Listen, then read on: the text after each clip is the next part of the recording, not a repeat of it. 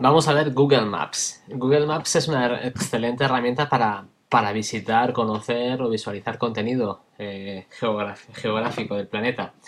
Pero hay que saber que también Google Maps podemos eh, crear mapas personalizados. Para eso tenemos que ir a la, página de Google Maps, poniendo Google Maps en el navegador. La primera eh, página que aparecerá google.es google barra maps. accederemos rápidamente a nuestra herramienta y si estamos logueados, que claramente tendremos que aparecer con nuestro usuario en la parte superior derecha, cuando damos esas tres rayitas nos aparecerán mis sitios. Una vez que estemos en mis sitios, dice un poquito los etiquetados, los guardados, los visitados y los mapas. En esta función de los mapas podremos crear, ver todos los mapas que tenemos creados o podemos crear un nuevo mapa en la parte inferior. Cuando vamos a crear un nuevo mapa, nos aparece un poquito eh, un mapa sin nombre que le podemos poner un nombre curso eh, Google Maps. Podemos meter una descripción, aunque no es necesario, y le damos a guardar. Una vez que está guardado, tenemos que entender el concepto de, de, las capas. Este mapa eh, tiene una sola capa que no tiene nombre. Ahora os la explico. Y luego tendremos un poquito el mapa base. Tenemos este mapa base, pero le puedo cambiar por satélite, le puedo cambiar por relieve, le puedo cambiar por el que quiera tendremos que estar a gusto un poquito con, la, con el mapa que queremos utilizar como mapa base y una vez que lo hayamos elegido simplemente nos tendremos que mover.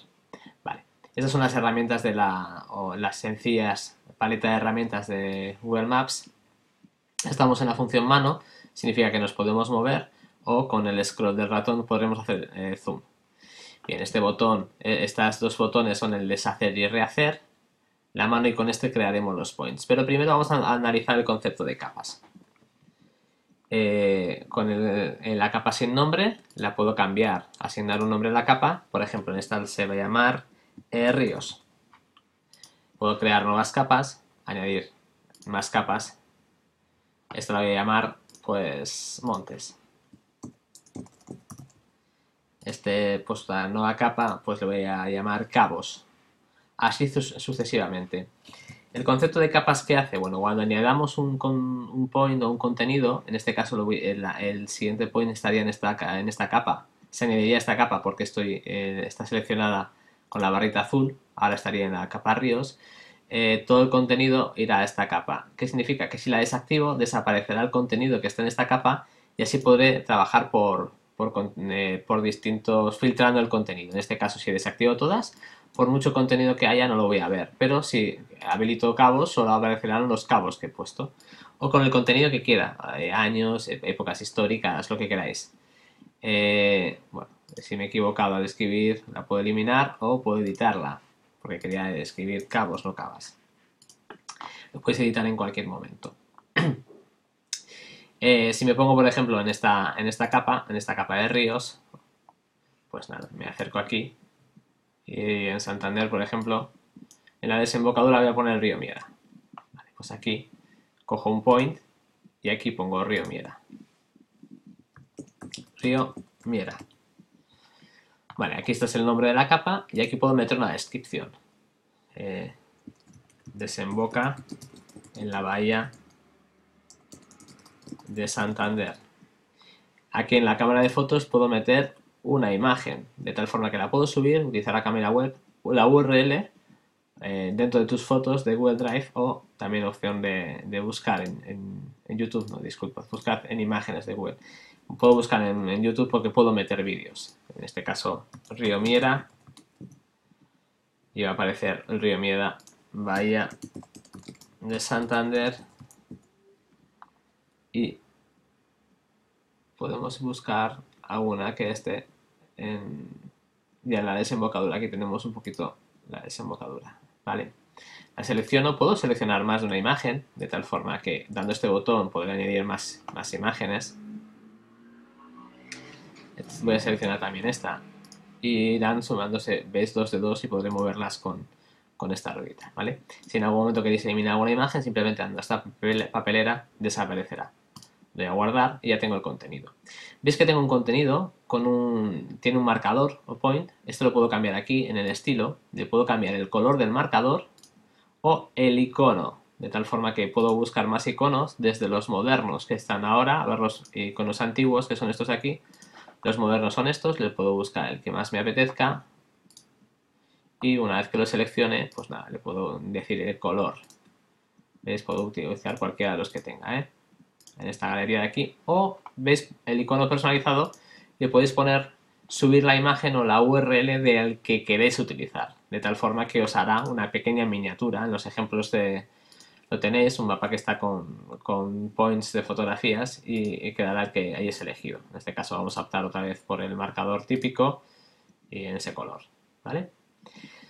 También podéis editarlo en cualquier momento, añadirle más imágenes, mostrar un recorrido para llegar aquí o eliminar ese marcador. En este caso está en la capa de ríos, yo le puedo cambiar a otra capa, lo voy a dejar en la capa de ríos, pero si elimino todas las capas no pierdo el contenido, es visible, pero ya si elimino la capa de ríos ya no voy a ver ese. Ese marcador está pero oculto, de tal forma que estoy dando mucha información a, a mi mapa, pero seleccionando el número de capas. El número de capas no es infinito, tienes que saber que hay un límite, creo que son las 20 capas las que podéis crear eh, y utilizarlo con ese sentido, ¿vale?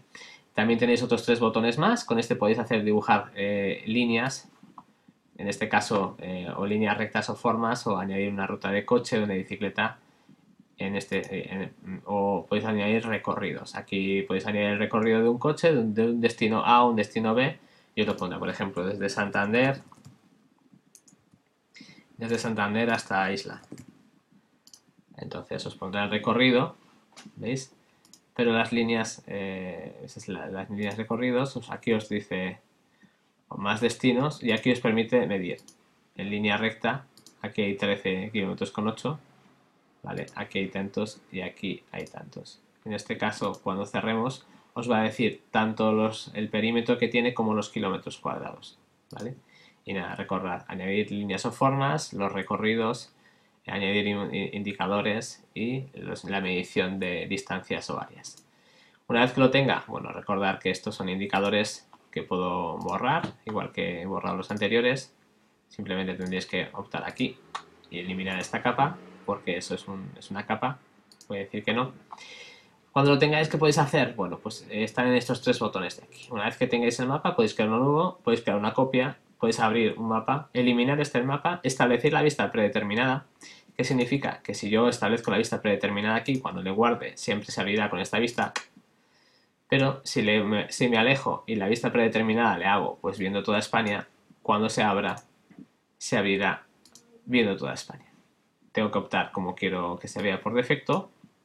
Esta apariencia me gusta, de tal forma que establezco vista predeterminada. Y también le puedo insertar en un sitio, pero si insertáis en un sitio va a dar un fallo porque ese mapa no es público. Todo lo que hacéis por defecto es privado. De tal forma que aquí en el compartir tenéis el botón compartir para hacerle, en vez de privado, hacerle o público totalmente en la web o público para aquellas personas que lo vean. Yo le voy a hacer público totalmente en la web, pero cualquier persona que llegue a él lo puede ver. Pero si doy a que lo puede editar, cualquier persona que llegue al mapa, aunque no esté registrado, podrá modificar y crear más points. Esto es para hacer mapas colaborativos. Aquí es que aquellas personas que tengan el enlace podrán editar, pero aquí cualquier persona que llegue podrá editar sin necesidad de iniciar sesión, ¿vale? Aquí también, pero aquí para hacerlo, cuando es privado, no lo puedo hacer. De tal forma que en este caso, si quisiera que alguien editara en privado, le tendría que poner su dirección y decir si esa persona lo va a poder editar o poder ver, pero para insertarlo en cualquier lugar lo tengo que hacer público. El rol de privado no me vale. Lo hago público, lo voy a hacer público para solo ver, le doy a guardar, en este caso ya es público, le voy a, perdonad, ya le doy ahora, ya es público, esto lo cancelo y le doy OK. Este mapa ya público significa que si voy a los tres botones y doy a insertar en mi sitio, ya me va a salir un código que simplemente pegando este código HTML en el lugar donde quiera, un blog, una web, ya veré este mapa. Si sustituimos este 640 por un 100%, 100% de 100% de porcentaje, eh, siempre me ajustará al ancho de la web, del blog, de lo que sea. Y el alto le puedo cambiar aquí, pero nunca podré poner 100%. ¿vale? Aquí puedo poner un 100%. No lo puedo editar en este caso, pero cuando lo corte y lo pego lo puedo editar. Y aquí le puedo sustituir por la cantidad 600, 800, lo que sea, pero nunca por un 100%. Porque el, código siempre hace un, una medida de lo que es la pared, el ancho, pero nunca sabe lo alto que es una entrada a una página web, ¿vale? Así lo insertaría en una web para que se vea directamente. Y luego nada, podéis imprimir este mapa o podéis exportar el KML. Significa es un formato de exportación de, mapa interactivo que podéis ver con, con, Google, con Google Earth o, con cualquier otra aplicación de, mapas. ¿vale? Aquí os va a descargar un fichero con la información de todo el mapa para que os lo exportéis y le guardéis y lo abréis con, por ejemplo, con Google, con Google, con Google Earth.